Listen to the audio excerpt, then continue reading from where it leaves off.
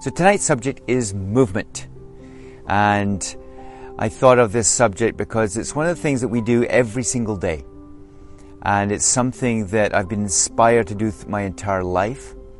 And as I struggle with chronic pain, with chest pain many moons ago, and also with knee pain, it's something that I had to deal with to battle through and at the end of the day be successful. But the, the, the principle tonight is really to touch base on the situation where maybe you are struggling with chronic pain and you're not doing too much. You know, you're not going for your walks, you're not in the swimming pool, you're not going for a little jog or a run or whatever you may choose to do, whether individually or with others. So, the, the first take home message I want to leave you with is start low and go slow. You know, it's really tough when you've got chronic pain to just get up and do what you want. And in fact, you can't. And the reality is, because of tightness, because of fascial constriction, muscle tightness in the body, often our joints are tight and sore, and for a, a variety of reasons, we just can't do what we'd like to do.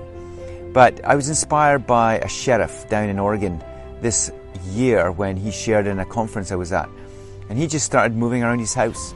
He was told by his physician, look, you got to embrace the fear, you got to move. So he said, okay. So he started moving just around his, his room and, and his house at home.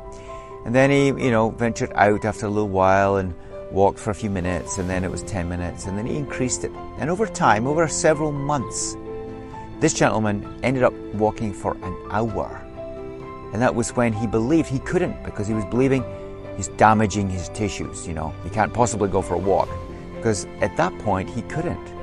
But if we just start slow, and build it up. And over time, what will happen is that we will be able to do what we're meant to do as bipedal beings on this planet with two feet is to get up and move. And I think at the end of the day, uh, walking is the simplest, cheapest, most effective aerobic type exercise we can all do. And I strongly encourage you, if you're not walking, start where you are and build it up. The second story I want to share with you tonight is a friend of mine called Roy Campbell. Roy, back in the day, back about 30 years ago, he was a professional rugby player in England. And unfortunately, he broke his neck, a horrific tackle, and it was broken in three places. And he was told by his doctor, look, he'll never walk again. He had numbness in his left side of the body for a long time, like many months, and he couldn't walk for a long time. But you know, and he was told, you can't walk, you can't run. And he believed it. You know, he believed that I'll never run again. And this was a top level athlete. He loved to exercise, loved running, loved going to the gym. And for 10 years, he didn't do anything regarding his fitness. He just was, you know, busy with life, working, raising a family. And it was until his four year old daughter says, Come on, dad, let's go for a run. And he says, I can't run, I can't run. Because the doctors have said so. And eventually, his little four year old daughter took him by the hand and ran up to the end of the street, just about 50 blocks, uh, sorry, 50 yards or so. And uh, the next day, his little daughter brought him up to the next block up the street, just a little bit more. And what happened then was um, he got encouraged, and within about six months, he was running a half marathon, which really encouraged him to maybe do more. And then before he knew it, he was running marathons, he was running and participating in Ironman competitions and also in world class events where he toured the world and he would do amazing races like run across the Amazon. And he did it twice in two different weeks over the years. And also, the greatest or the most toughest race in the world is across the Sahara Desert, and he did that as well. So he's now a world class athlete at the age of 59, still exercising every single day. And look where he started. He started on a hospital bed where he couldn't move for a number of weeks with a contraption around his head to prevent any movement of the bones. And he went on to become a world class athlete. Now, that may help not happen to you or me, but we can be motivated. We can be inspired by Roy. Yeah, we can do whatever we want to do as long as we start low and go slow.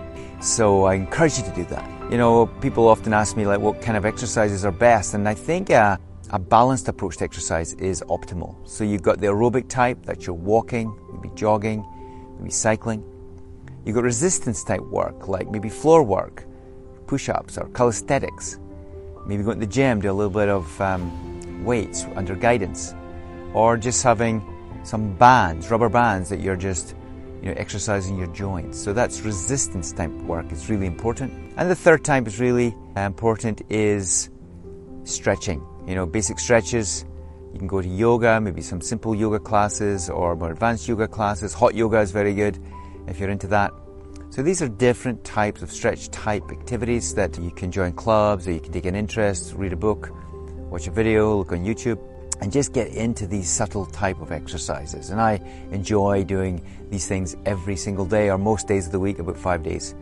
That's the, the walking or running, the resistance type work with a small amount of weights at home, and also some stretches. And I do Pilates, clinical Pilates every day as well. So that's what I get up to to combat my pain. But, um, you know, at the end of the day, movement is what we do as humans. And if we're not moving, as one person said, we're dead. We're always moving. So let's get moving with these two feet of ours or whatever sports you may be interested in, maybe racket sports, maybe team sports. But get out there and let's move our bodies, start where we are, and set low goals. You know, it's pointless saying, right, I'm going to walk for half an hour if you haven't walked for five minutes outside. Just start with one minute. If you know you can do a minute, start low with your goals. And if you achieve it, it's a bonus. And every day you set goals and you can achieve them, you'll start to feel good. And that's something I came across in a great book as well. Set the goals low. Be an underachiever, as it were, when you set your goals. Because you guess what? You'll achieve them and then you'll feel good. Give yourself a pat in the back and then you can move on. So, there's a few golden tips that I've come across over the years. I've shared with many patients, and hopefully you can find the benefit too. So thanks so much. I really appreciate listening tonight. And, you know, leave some comments. What kind of things do you want me to talk about? I'm setting up a curriculum online, and this is the first one of the 20, and it's going to be called Move, Move, Move. And it's the essence of engaging with our bodies and literally moving on in life with exercise and movement. So I hope you liked it. Leave a comment, and I look forward to next week for the next uh, live stream here on Facebook and also hopefully Instagram. Okay, thanks for now.